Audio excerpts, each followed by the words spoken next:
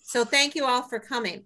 Um, as with each of our lectures here at the Silversides, we always begin with the Pledge of Allegiance. Then immediately after the Pledge of Allegiance, I will ask you to please mute your screen and um, so that there is no feedback and no sound. And um, please feel free if you wish to keep your camera on or turn it off, that is completely up to you. If you have any questions, I ask that you put them in the chat at the bottom of the screen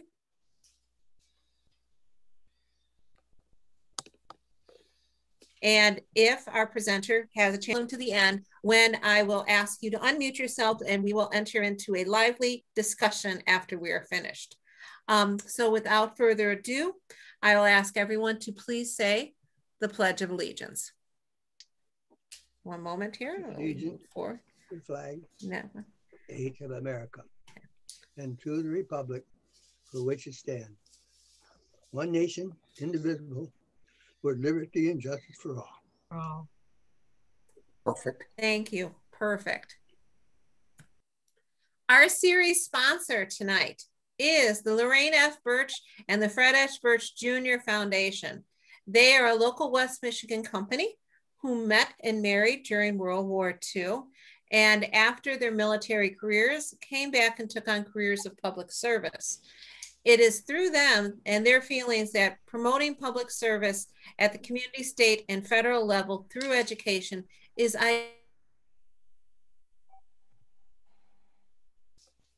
ideal to making our society. And this evening is Blue Lake Public Radio, a wonderful organization that has been our supporter for years, and we thank them for that.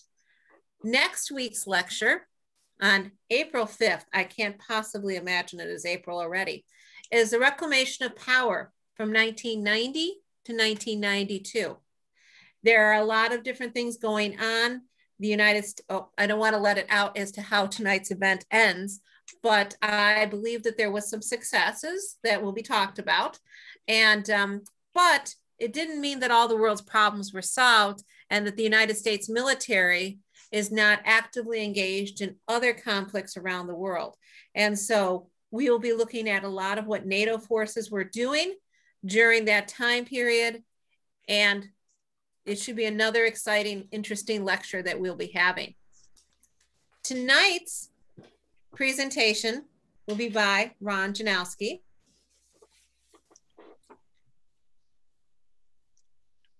It is about Operation Desert Storm that has set the gold standard for what we would like to continue doing. But it had its own set of problems and it had a lot of different things. And it changed the way a lot of Americans looked at the military. And there was a lot of military veterans that are from that time point, and they talk about the difficulties of fighting in that area, that era, and that type of environment. And it opened up the door for a lot of things that'll be happening in the United States during the rest of our series. Tonight's speaker is Ron Janowski, Lieutenant Colonel, U.S. Army retired. Ron is a 1976 graduate of the United States Military Academy at Grosse Point. He holds a master's in history from Norwich University. He has been um, in the military for, he was in the military for many years. He was actually, as he puts it, an Army brat and traveled extensively throughout his life. After his um, professional career in the military,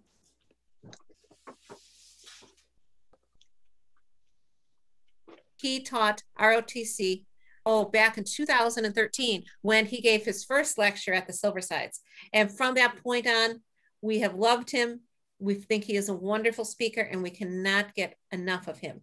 So without further ado, I will hand the screen over to Ron. While Ron is putting up his PowerPoint, I ask that everyone please mute yourself. And if not, then I will mute everyone because it is an important thing so that we can all hear each other. All right. And so, Ron, you should be able to share your screen. All right.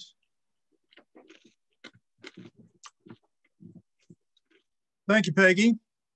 Everybody see a green screen right now?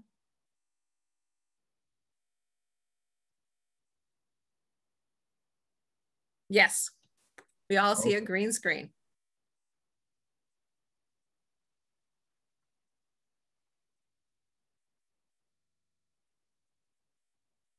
Middle East. The land known as the Middle East has throughout the ages been something of a magnet, attracting historical events. We know, of course, that the Romans occupied Judea and the Palestine in the time of Christ. A thousand years later, Western European crusaders came into the area to rescue the land from the Islamic host. In 1859, the British came in and connected the Atlantic to the Indian Oceans through the Suez Canal, which of course has been in the news this week, as Kurt and I were just talking about. During World War I, once again, the Grand Entente mobilized the people of the Middle East to help in the Great War. 20 years after that, the Germans returned the favor, coming south, seeking the oil reserves, the vast oil reserves that lay under the sands of the Middle East to power their war machine. In 1948, the country of Israel was founded. Much more recently, uh, another adventure began with outside forces coming to the Middle East. It was an intent not to simply change a political standard in the Middle East, but in fact to advent the coming of a new political paradigm for all the world. In January and February of 1991, this was Operation Desert Storm. Desert Storm was coming upon us just as an old paradigm was ending. For 40 years, the world had existed under the Cold War, a bipolar situation in which East versus West, capitalism versus communism, the United States versus the Soviet Union. It was a very stable, if terrifying, paradigm. But finally, in 1989, under the pressure of the of trying to keep up, the Russian Soviet economy collapsed, leaving suddenly the world realizing that a great era had ended.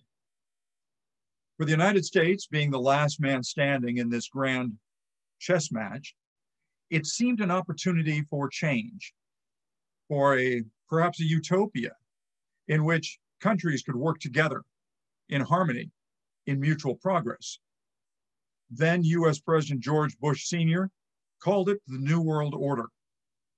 And loosely defined, it would be a case in which the countries of the world, united under the banner of the United Nations, would finally be able to fulfill the promise of the United Nations and its predecessor, even the League of Nations, in working together in harmony and finding peace in progress.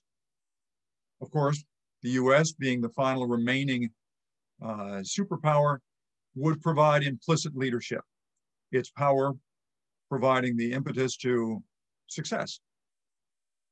Unfortunately, as most utopias are bound to do, the dream of a new world order of this definition would prove to be fleeting and would ultimately not come to be.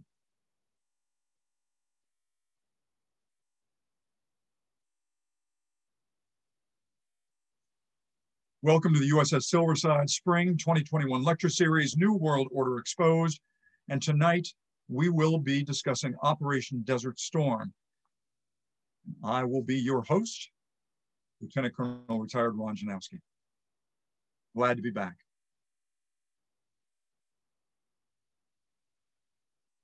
The Middle East, a meeting of continents, a meeting of cultures, it has long drawn the attention of the world for various reasons religious, economic, but most recently, its draw has been the vast reservoirs of oil beneath its sands.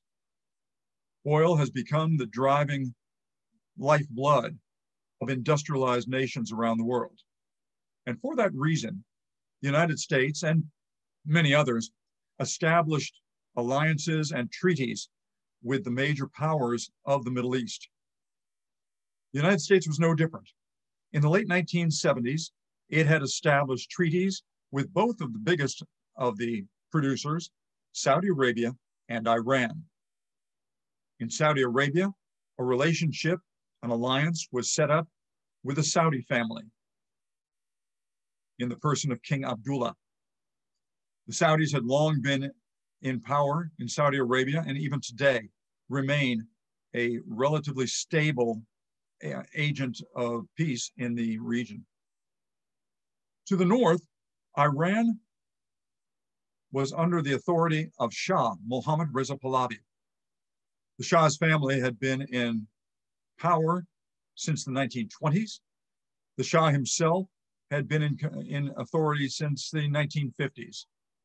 But in the late 1970s, after over 25 years in power, the Shah and Iran were facing upheaval. The Shah was facing medical issues, and he had, because of a number of questionable, outright poor decisions on his part, and the rising tide of a fundamentalist movement within Iran, the Shah's power was threatened. And in 1977, 78, 79, he departed for the United States for medical treatment, never to return. And instead, the authority of the Shah and the power in Iran transferred over to a fundamentalist power run by Ayatollahs or holy men. The leader of these was the Ayatollah Khomeini. Further complicating the issue in the area was the fact that the Middle East is the meeting of two sects of Islam. In Iran and across to Iraq is the Shiite sect. To the south is the Sunni sect. While both trace their heritage and their lineage to Muhammad in 631 AD, both have taken a different path and their principles are quite different in their reflection upon the Islamic religion. There is outright hostility between the two sects. It was feared that with the power of the Ayatollah Khomeini and the Sunnis, I should say the Shiites to the north, that there may be cause for an expansion of aggression to the south, thus upsetting the stability of the area and thereby threatening the flow of oil to the world. The United States and others looked to the natural boundary or wedge, both politically and physically appearing as a wedge, in the country of Iran.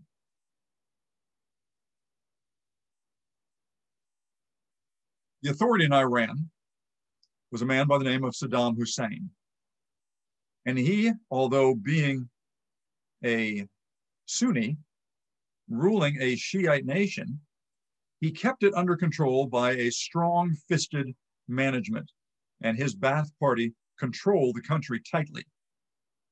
Nevertheless, he was the benefactor or the benefit, he was the receiver of the money and aid that were coming in from around the world, particularly from the two superpowers.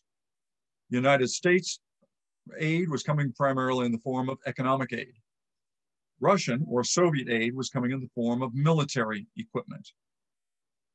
As a result, by the late 1970s and early 1980, Saddam Hussein, an ambitious man, had a robust economy and the fourth largest military in the world.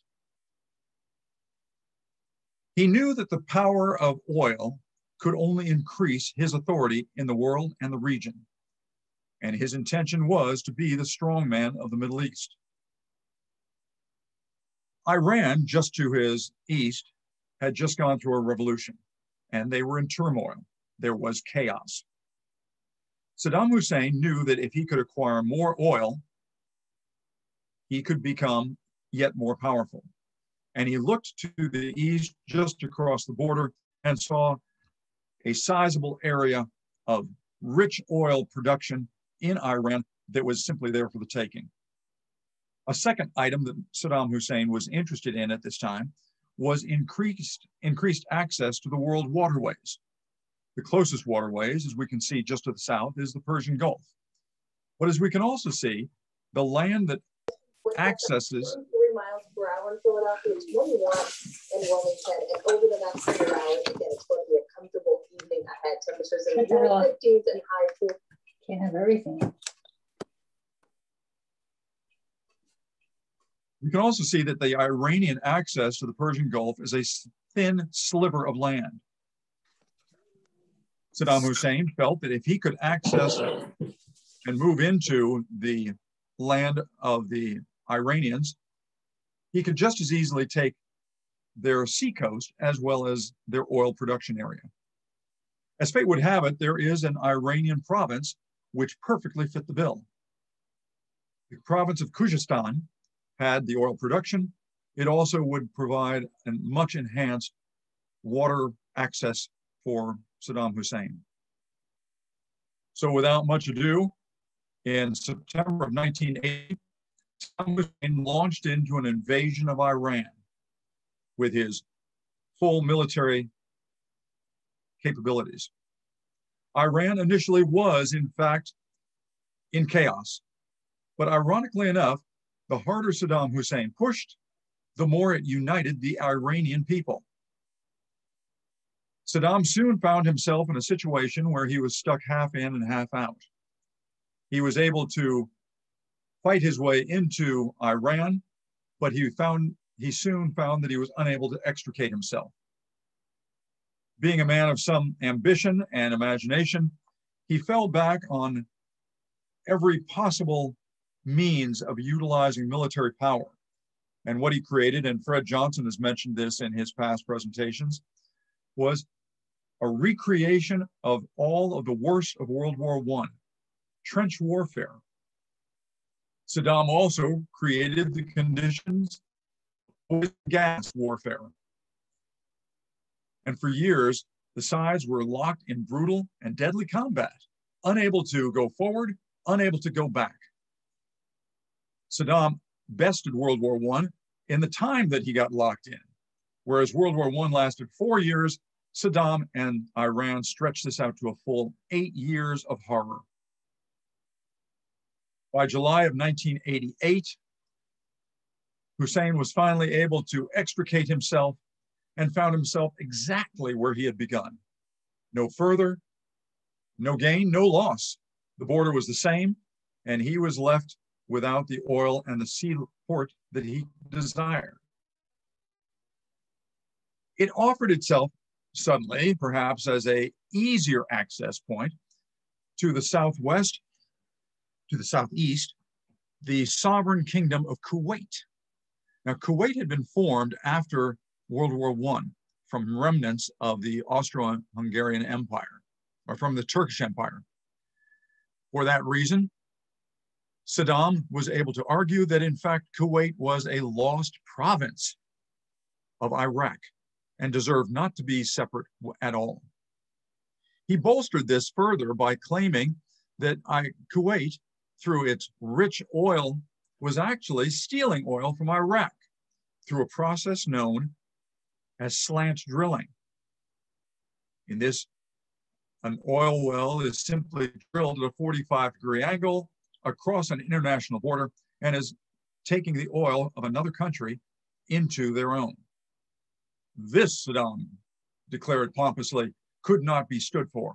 And he demanded that Kuwait, in fact, surrender to, uh, to his advances with several billion dollars, something like $10 billion worth of ransom. The Kuwaitis offered 500,000, at which point Saddam declared that not only would he get justice, but he would, in fact, claim Kuwait as the 19th province of Iraq. Of course, this was all going on in the public eye, and there was much discussion throughout the world and particularly the region. Nevertheless, Saddam moved his forces to the Kuwaiti border and on the 2nd of August 1980, Iraq invaded Kuwait. Now, Kuwait had a military, but it was, it was nothing compared to what Saddam Hussein had in Iraq. They were quickly overcome and Iraq claimed the, claimed the land that was once Kuwait. World opinion was quick to respond. With Iraqi forces in Kuwait, United Nations immediately that day formed a Security Council and condemned Iraq for its actions. A few days later, King Abdullah of Saudi Arabia, recognizing the threat posed by Hussein, called upon the United States and requested US aid to protect and to shield Saudi Arabia from Hussein's advances.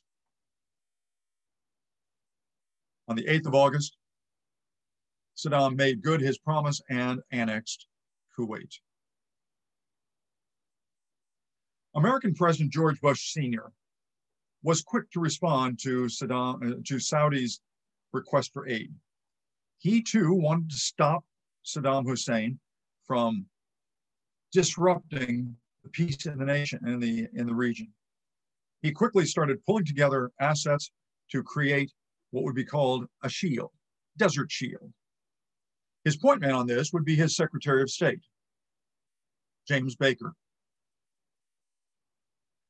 Baker soon embarked on what would be called the Tin Cup Trip, in which over the period of 11 days, he would visit nine different countries in order to try to bolster support and bring together a coalition of forces to fight back against Iraq's aggressions.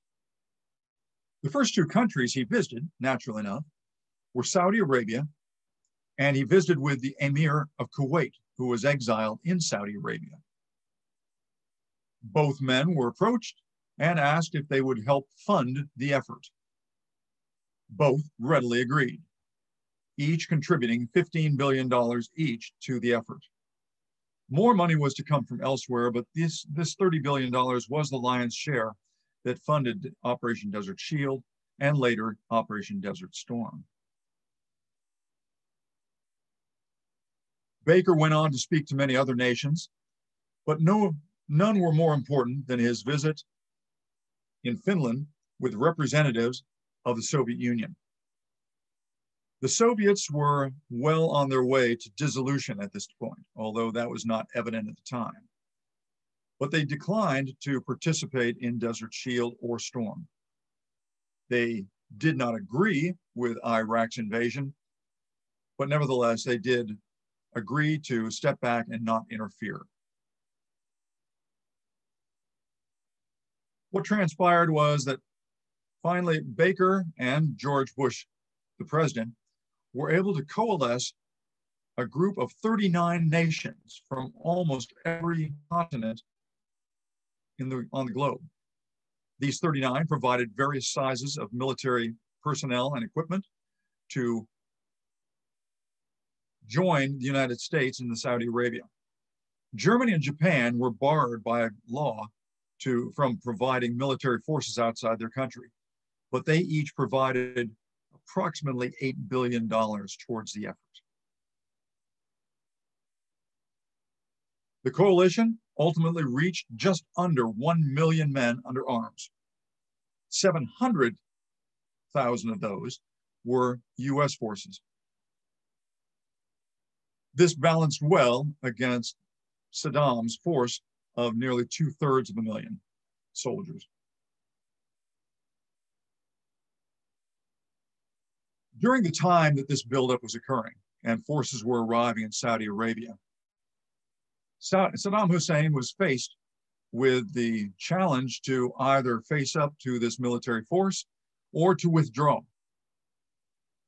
Over that period, he made several offers to withdraw. In the first case, he offered to withdraw from Palestine or withdraw from Kuwait if Israel would withdraw from Palestine, Syria, and Lebanon.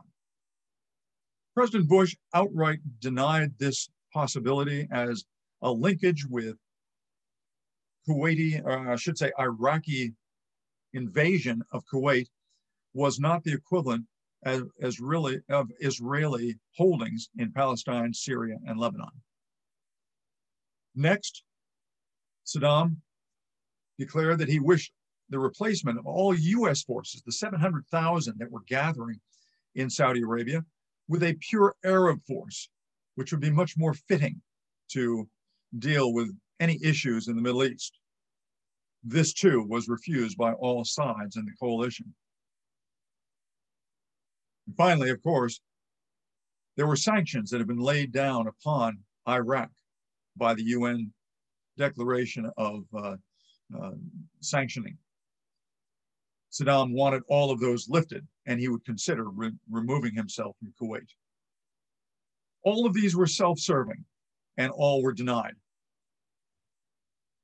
And in November, President Bush, Bush on the 29th of November, with the UN resolution 678 in hand, declared an ultimatum.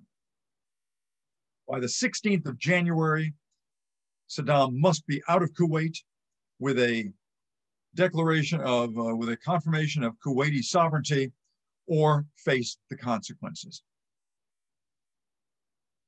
Saddam felt secure and he stayed in place.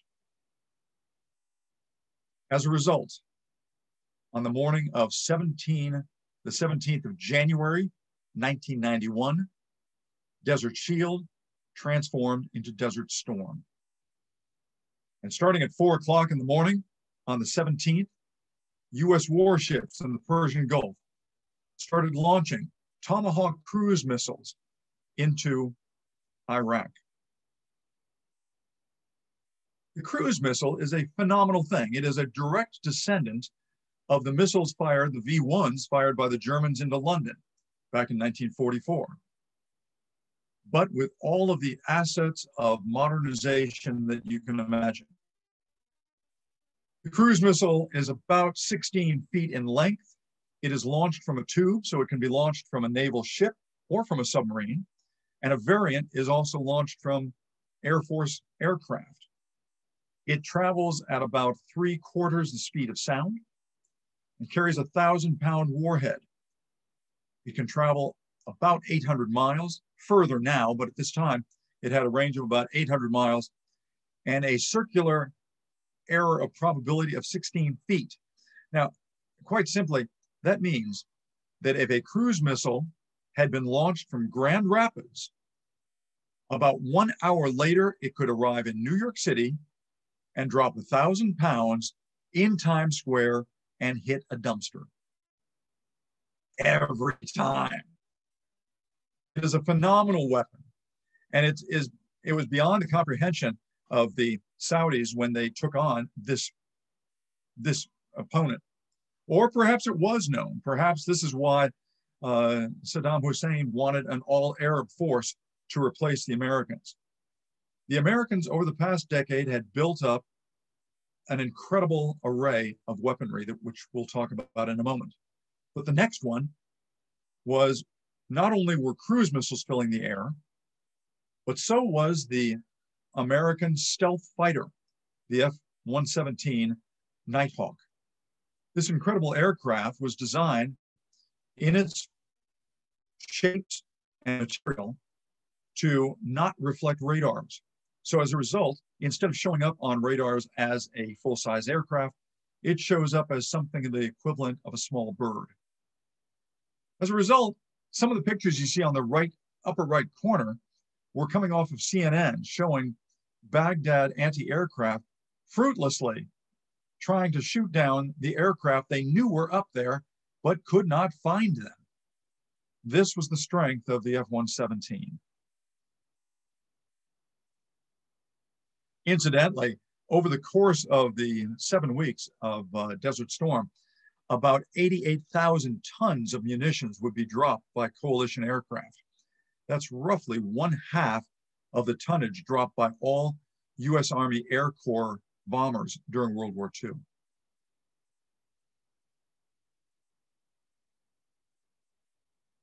The bombings, the strikes by the Tomahawks, peppered the entire country of Iraq, north, south, east, and west. Pentagon public affairs officers, when describing this, termed it an operation of shock and awe. And it was each night we were able to watch these incredible pictures of the bombardment that were coming in that the Iraqis simply had no answer for. They couldn't shoot down the cruise missiles. They couldn't find the F-117s. And these came in each night, filling our TV screens. I say night, I was in Europe at the time and I was manning a missile system that was aimed at Russia, as a matter of fact, to make sure that they didn't do anything untoward. But we had the TVs on all night watching this stuff, and it was just incredible.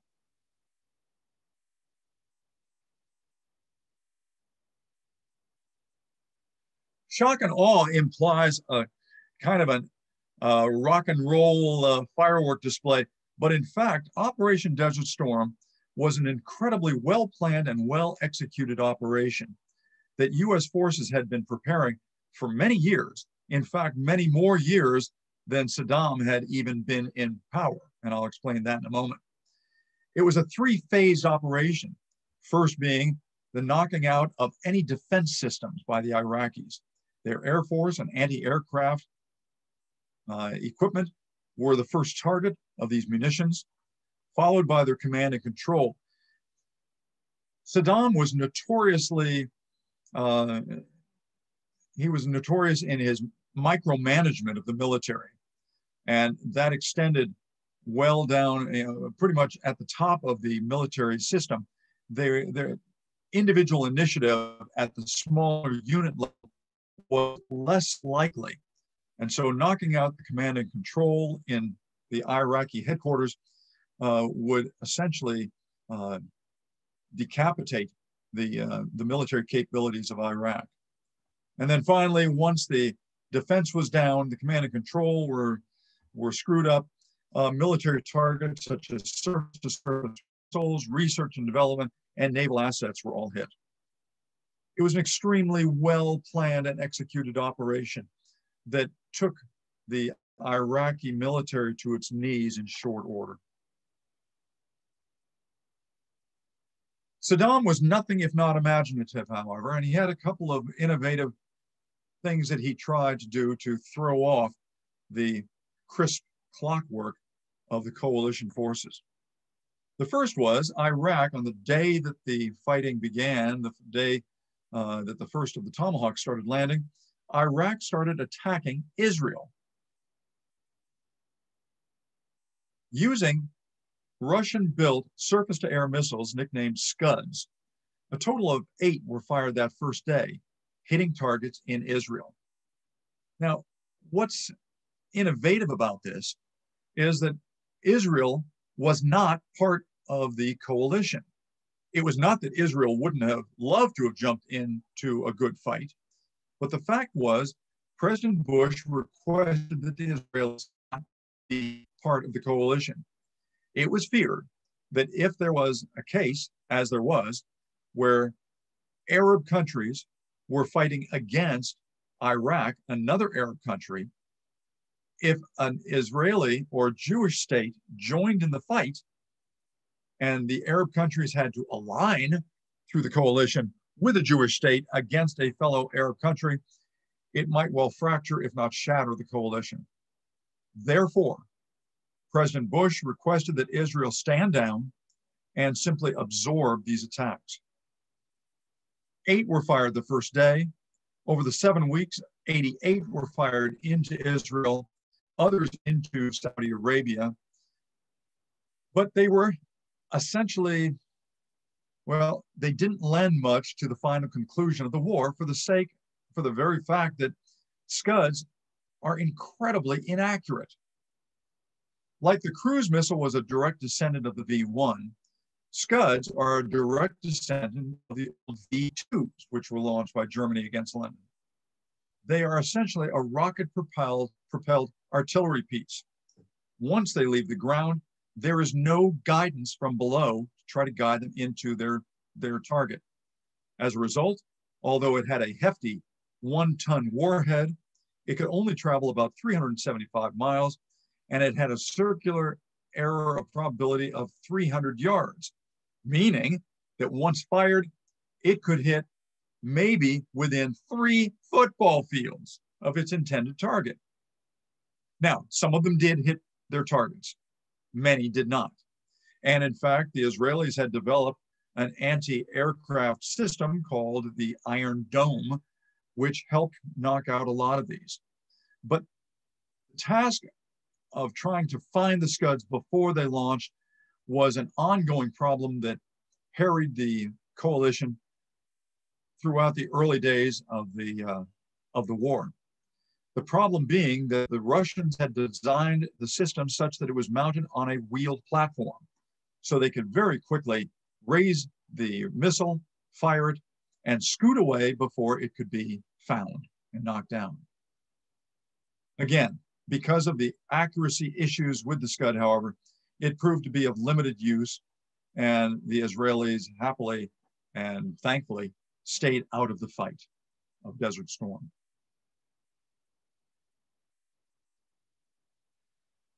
On the 29th of January, the Iraqis mounted their first and what would prove to be their only offensive land action of the war.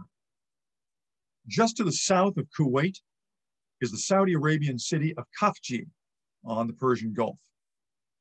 On the 29th, the Iraqis mounted a two division thrust of armor and mechanized infantry towards Khafji.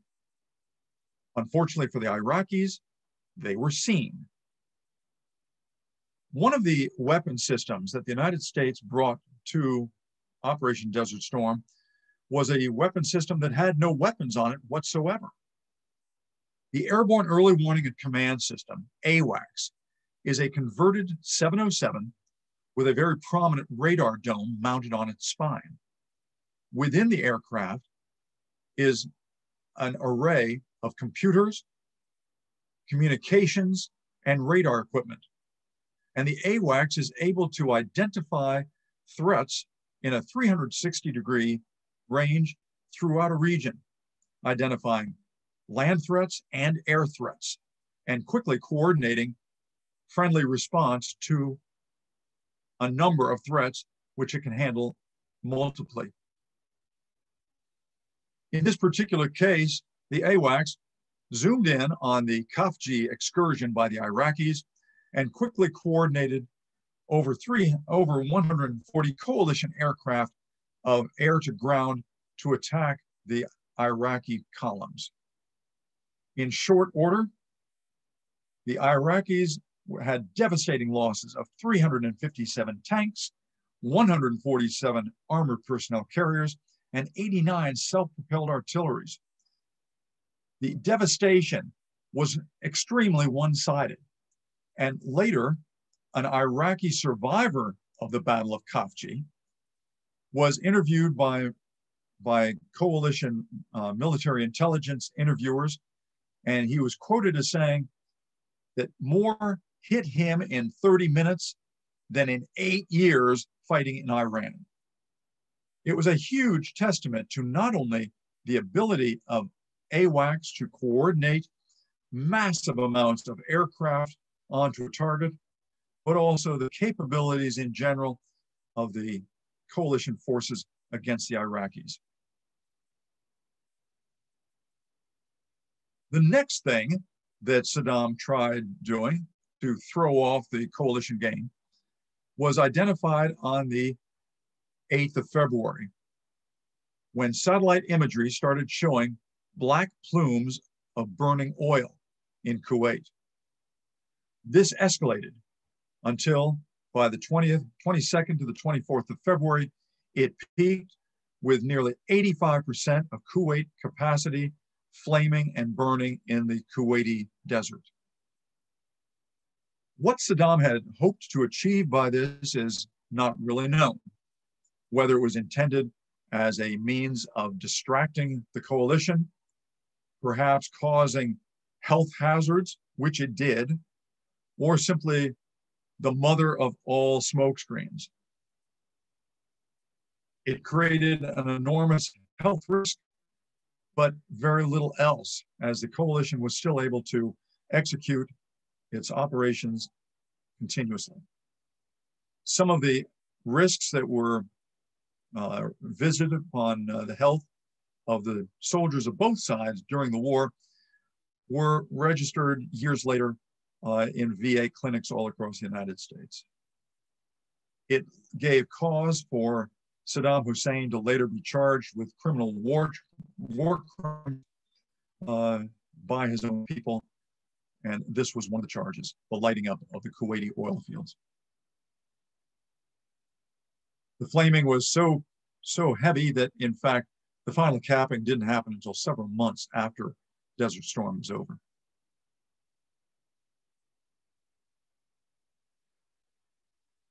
Along the way, Saddam would offer reasons or possible palm leaves to withdraw from Kuwait. On the 15th of February, he proposed to withdraw, but would not concede that Kuwait was not a part of Iraq. All of these were turned away as unacceptable. And on the 22nd of February, President Bush finally gave Saddam Hussein his final ultimatum. He had 24 hours for an unconditional surrender to withdraw from Kuwait and to abandon the claim of Kuwait's land as, as Iraqi. 24 hours came, 24 hours left. And Saddam was now subject to biggest butt whipping ever. The Iraqi forces were coalesced in Kuwait. Coalition forces had arrayed themselves along the border of Kuwait and Saudi Arabia, just inside Saudi Arabia. On the 24th of February, the trap was sprung. And coalition forces flooded across the Iraqi desert, completely enveloping the Iraqi forces in Kuwait.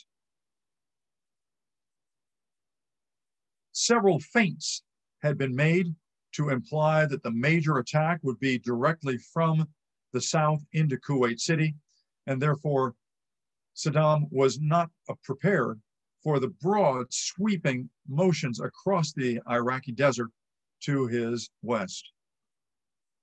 This was an operation of incredible complexity.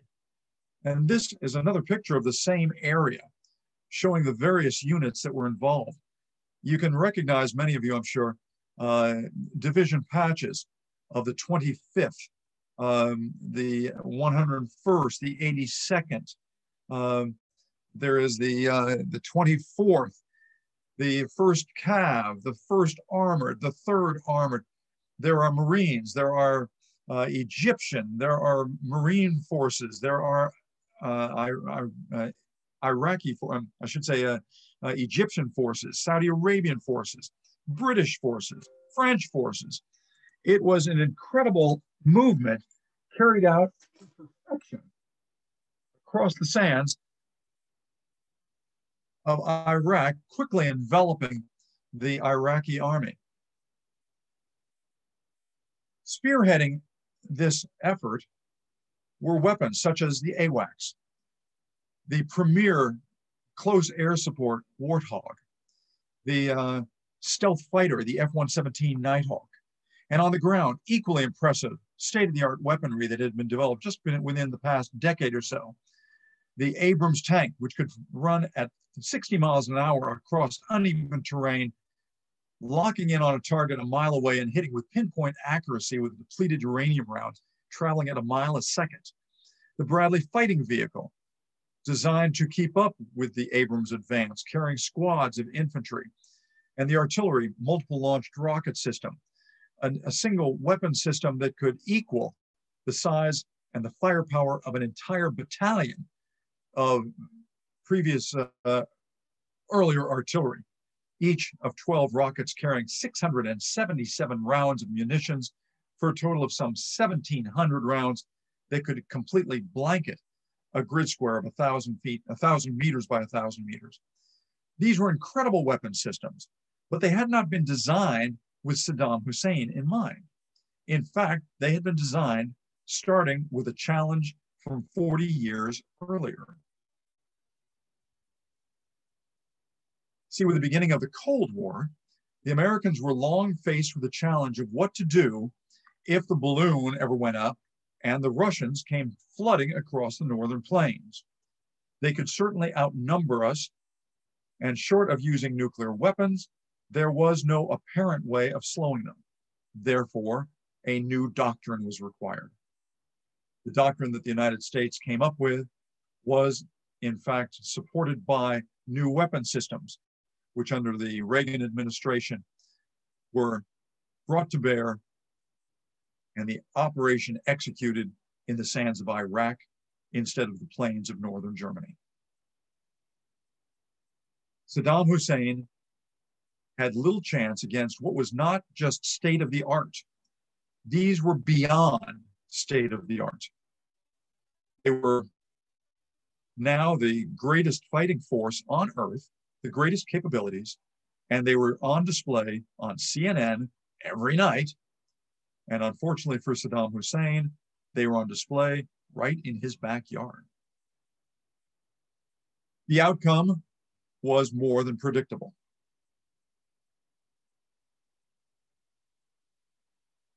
The fourth largest army in the world was quickly decimated.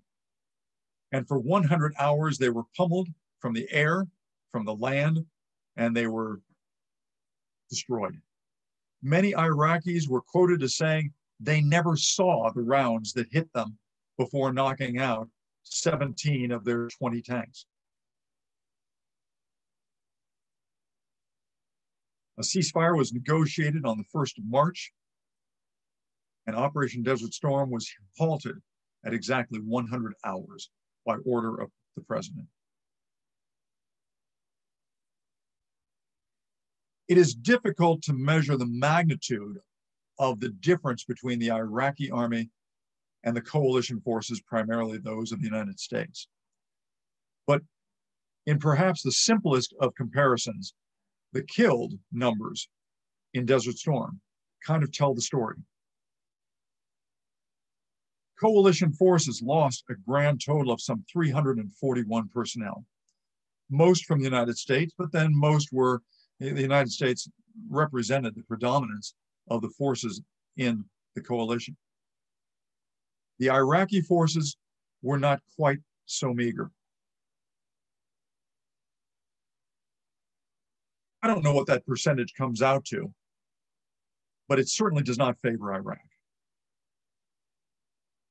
After the 100 hours of fighting on the land, the Iraqi army was reduced from number four in the world to number 57 in the world. And totally immobilized.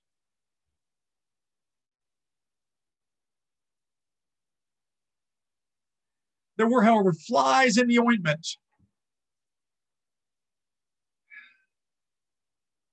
It is true that the land fight in Kuwait was stopped at 100 hours. However, the outcome was more than evident well before that. And as Iraqi forces fled north on the only highway that led from Kuwait to Baghdad, they were mercilessly pummeled by coalition forces. The slaughter was horrendous.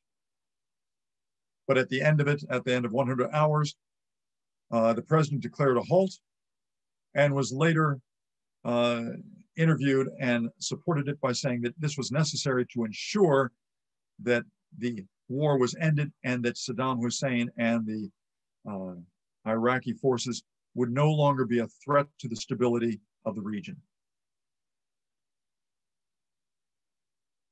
A second fly in the ointment in northern Iraq, there is an ethnic people known as the Kurds. The Kurds have long claimed uh, independence, although they've never been given it. And they have fought to gain their independence during Desert Storm. They were difficult to say. It was either implied or spoken that the United States would support an uprising against the Iraqi government at this time. The Kurds happily concurred and they rose up. But American support never arrived. And as a result, those Kurds who were now identified and in the open were met by generals still loyal to Saddam Hussein, and they were slaughtered. And finally, the very fact that Saddam Hussein was left in power. Even after the seven weeks of Desert Storm and, and Desert Shield and all of the atrocities of everything else, the uh, Iran Iraq War, Saddam Hussein was left in power. It was felt that he had been defanged, his military was no longer functional, and to eliminate him would have created a vacuum that would have been less than beneficial to the region.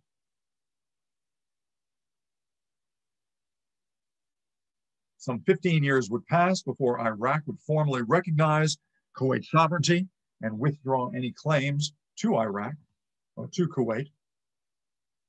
But as it turned out, Saddam Hussein would not be there to see it. In 2003, it was decided that he was, in fact, a threat to the stability in the region. He was ousted from power, he was captured, turned over to his own people, put on trial for war crimes to include the lighting up of Kuwaiti oil fields, and summarily executed in 2003. This did create the expected vacuum in Iraq and the region. Iraq fell into disarray and chaos. The United States sent in occupation troops for eight years with limited success, and finally withdrew in 2011 with the country no further along in stabilization than it had been at the beginning. And for the 10 years since to the present day, the country has faced large scale chaos, invasion by terrorist groups, insurrection by its people, and general disunity and a failure to get their feet on the ground towards progress. Famously, George Bush Jr. in 2003, who led the removal of Saddam Hussein, declared mission accomplished.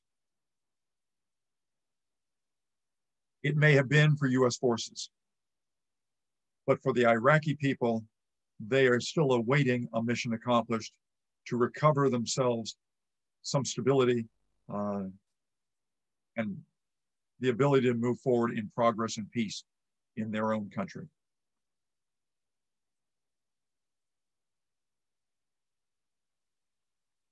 The Middle East has proven to be a land that has drawn historical events. And each has come in their own time, made their impact, and then slowly disappeared into the sands of the region. And so it is likely that any good that was done by Desert Storm is fleeting and is disappearing as well, awaiting the next movement of progress for Kuwait and for Iraq. But what of the New World Order? The United States in uh, back in 1991 had felt, or back in 1989, had felt that with the dissolution of the Soviet Empire, the United States had won the grand chess match. They were the last man standing. They were the last superpower standing. And they should have the power now to create a new utopia. Unfortunately, that did not happen because it turned out that the world simply is not ready for a utopia. And there was not just one chess match. In fact, what came to pass was the realization that there are many chess matches against many opponents, large and small, recurring and anew.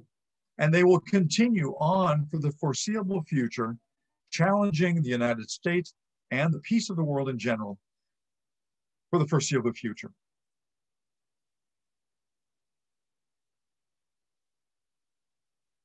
Still, there are lessons to be learned from Desert Storm and from the New World Order.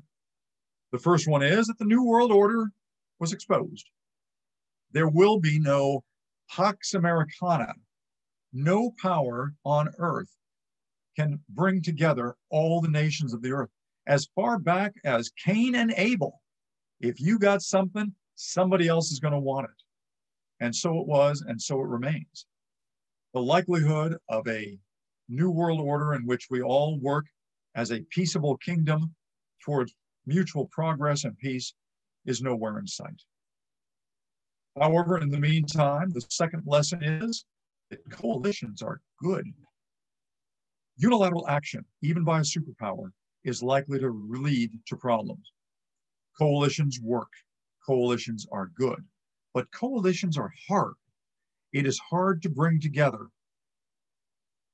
nations in a single cause. And this is why the unity, the unifying of 39 nations by Jim Baker and President Bush are is all the more remarkable in hindsight that they were able to do this and create a working operational coalition that successfully led to the end of Operation Desert Storm.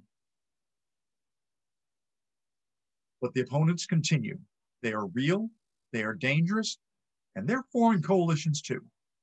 They will always be out there, always being flies in the ointment, but also directly challenging the top gun in the world. Just like in the old Western movies, there's always somebody else coming in to want to test the top gun. And a new Cold War is on right now, and we all know it with China.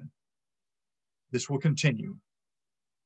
And regardless of the outcome of this Cold War, there will be a Cold War afterwards, because that is the way of the world in the past, in the present, and on into the future.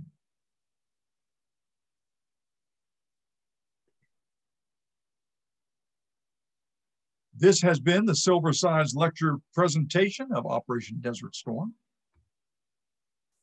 And what if you, you? If you would like to unmute yourself and ask a question, we'd be very happy to. And I know Kurt's got questions. you always got questions? questions. I'd be glad to. Ron, as always, fabulous uh, lecture. You led us to a great semester, summation here. So, the simplest of questions was it worth it? Did the ends justify the means? And we're making that decision 31 years later, of course, with hindsight. You know, and this harkens to the cancellation of Confederate generals and the honoring of past events, and even saying George Washington. You know, you deal with the cards you have at the time. It was believed in 1991 that Saddam Hussein represented a true threat to the stability of a of an area that was of supreme importance. We were not uh, oil uh, independent at that time. Neither was most of the world. Yes, it was worth it. Yes, it was. Excellent. And I love your statement. You deal with the cards or the information you have at the time. Perfect. I'm a history guy. Yeah, we talk about that a lot at the museum because you can take something as innocuous as smoking by the um, by the enlisted and the officers during World War II, and the kids are like, oh, "Smoking's bad." I'm like, "No, you have to look at it at the time. There was not. You can't interpret their actions in our lens today. You have to interpret in what they knew and what they felt and what they believed at that point." Hey, when I went through a two month ranger course of survival where I was getting an average of two to three hours of sleep for two months. I chewed tobacco, Peggy. I really did. I never chewed it before. I never chewed it after, but by golly, I chewed it during that just to stay awake. Oh, yes. hey, um, do we have any other questions out there? So um, while we're waiting for other people to think of things too that they might like to ask, what do you feel that the outcome there in terms of the power of the United Nations?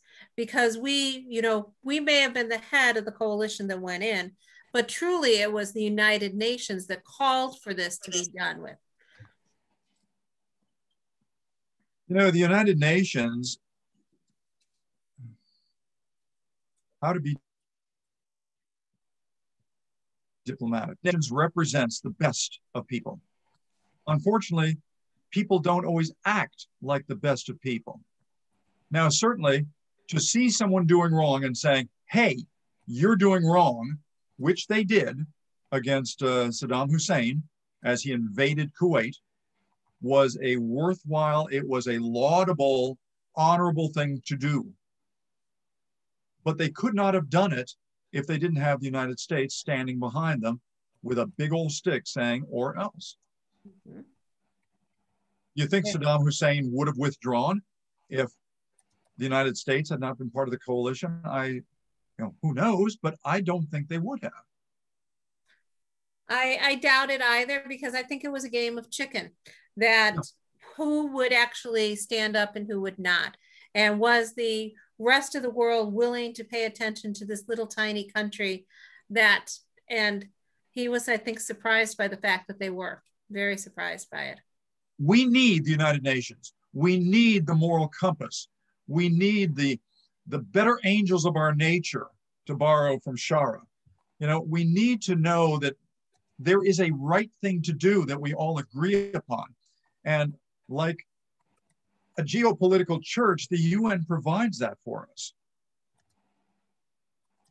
But there needs to be more mm-hmm. until people become more like the angels and less like the demons they sometimes act like. Yes. Um, I I wasn't surprised though, but um, I don't. Russia decided that they were willing to stand back and not become involved, and that um, really shows to their weakness at this particular point in their restructuring and their attempt to um, bring in their own problems at home to a closure. And I yeah. found that very interesting. And when you said though that while everyone else was heading off to the Middle East, there you were standing on alert, waiting for potentially bad things to happen.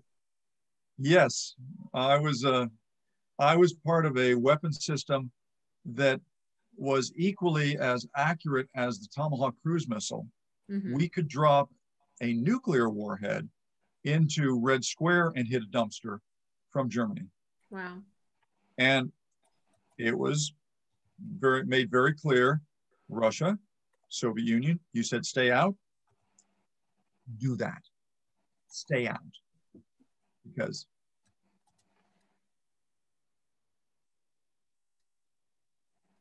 yes. I'm thinking man if you could hit a dumpster in red square 30 years ago what must they be able to do today?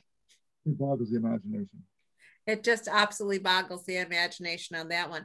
Do we have any other questions from the audience this evening if not, I would like to thank everyone for coming out tonight. We enjoy having your presence and all of you that know the Silversides, it's our mission to honor veterans and we do that through education and preservation. And this is one of our educational outreaches. And we appreciate your time in coming out to listen to these presentations. And I hope to encourage you to, we only have a few of them left.